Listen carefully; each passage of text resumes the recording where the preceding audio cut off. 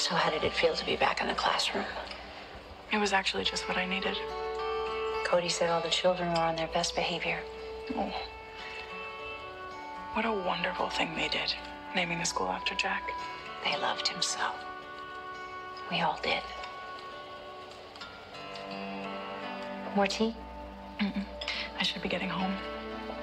I already have papers to grade. Before you go, we have a little gift for you. We?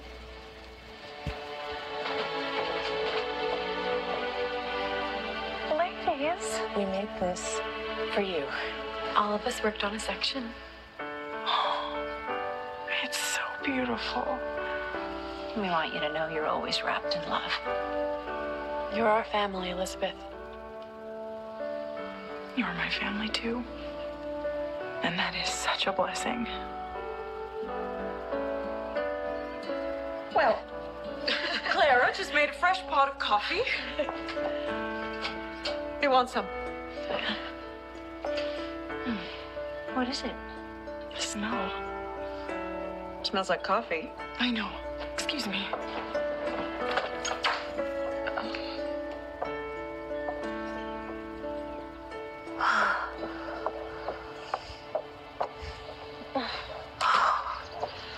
Sorry, Abigail. I'm fine now. The smell of coffee made you nauseous. Mm-hmm. It's never happened to me before. It's happened to me. And you've been tired and run down. Loss of appetite, the headaches. And now the nausea. Elizabeth,